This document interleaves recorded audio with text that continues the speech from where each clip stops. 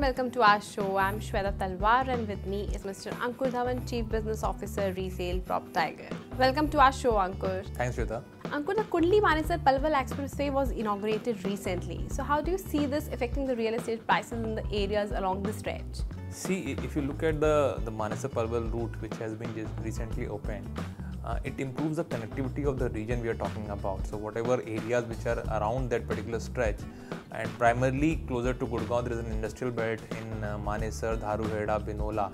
That region will get a, get a good connectivity now.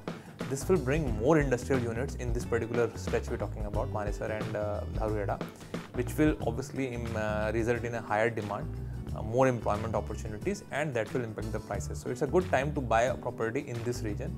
The prices are expected to shoot up. What about the impact on the current established markets nearby such as Manesar and Gurgaon? So Manesar actually if you look at Manesar was developed as an industrial area and uh, the initial whatever residential launches have happened in Manesar were expected on this particular stretch only when the KMP will be ready the prices will increase. So more or less I think the prices have been factored in in Manesar but still because the stretch is not ready there might be a uh, there might be a blip and then we might see the prices increasing.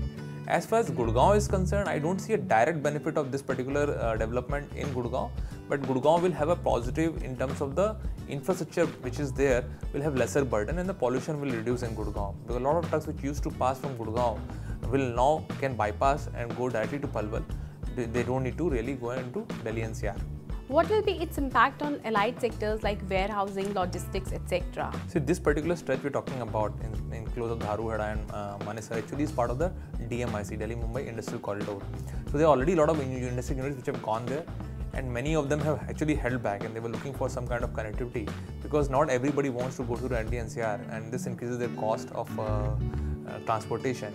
So now, given that this stretch is ready and there is expectation that in another one year the Kundli Manesar stretch will also be ready, I think a lot of industrial units will start setting up their plant there, and that will improve the uh, uh, employment potential of this particular area. So you, you will see in future that logistics and warehousing companies are buying the land as well as the uh, real estate in this region.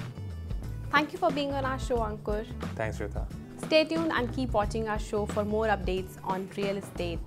You can also follow us on Facebook, Twitter, YouTube, and Instagram.